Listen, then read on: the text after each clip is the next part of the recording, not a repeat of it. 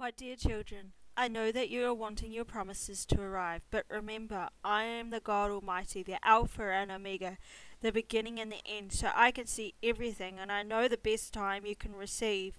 My will will prevail, and don't worry, you won't miss out, and you will know when it happens that it is I, your God, that has done this, and you will want to thank me, you will want to praise me.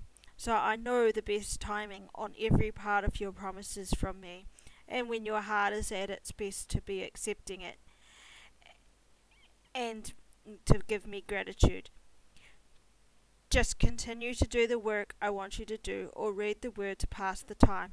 I know your emotions behind waiting, so just keep busy. Keep focused on other things and trust me. Trust that I am not going to hurt you in any way. Trust that I have your best interests. So listen to me now. I have not forgotten you. I have not purposely left you out. Things just have to be just right. My beloved, and when the time comes, you will understand. Until then, I will still love you. I will still be with you and continue to pray, and I will still be listening, and I will never leave your side. With love, Daddy God. Thank you, God, for placing this video in front of those who need to see it. If you feel led to sow into this ministry, click in the link in the description box below. I am taking orders for prophetic words. Email me at desertrose at 6655 at gmail.com.